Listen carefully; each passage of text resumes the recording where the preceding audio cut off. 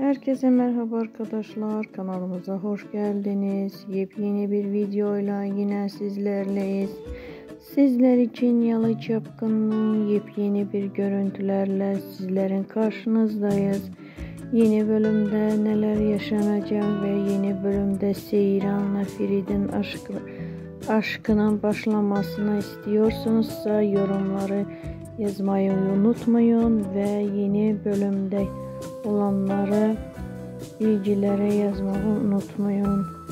Benden bu kadar. İyi seyirler arkadaşlar. Hoşçakalın.